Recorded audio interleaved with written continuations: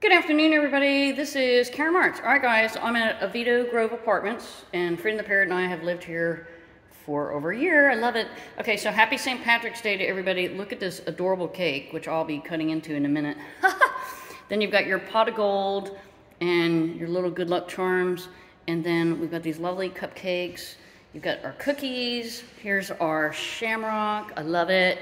And I do have Irish in me, and I am wearing green today. Woo! You're going to hear some folks out in the lobby. All right, guys, we're signing off live. Happy St. Patrick's Day from Oviedo Grove. Have a great day.